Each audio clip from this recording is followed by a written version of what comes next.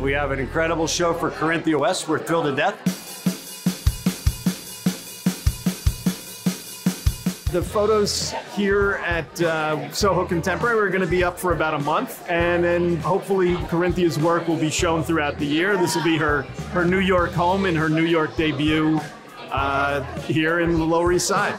A lot of the people that she's taken pictures of are people that I know also, so we have a lot of people in common, and it's beautiful to see this work.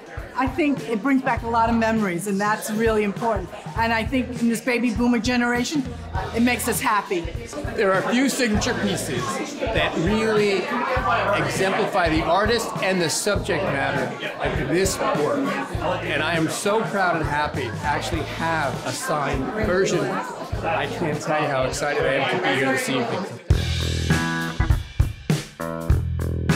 I've chosen a Carly Simon photograph of her throwing her head back that was taken at the River Cafe by me in 1980.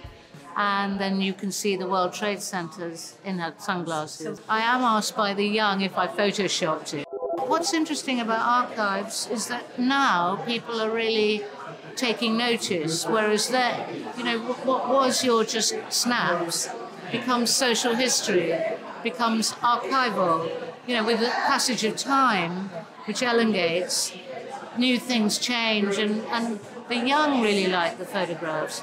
And I'm a firm believer that if the young like what I do, then it's worth carrying on and showing them. You go to a rock concert, you can take photos of any of these guys. It's the intimate access that Carinthia has. A friend of mine here just said, gosh, you know everybody. And I thought she meant everyone in the room. And I went, yeah, did you, do you meet a lot of friends? She said, no, I mean on the walls.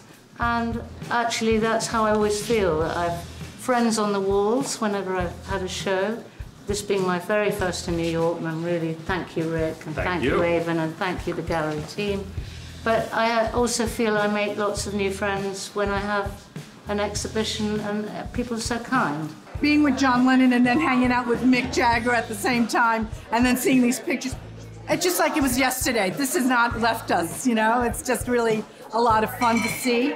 And it's at a time like this, in this era, we need something happy. And they make us all happy. All these photos, rock and roll forever.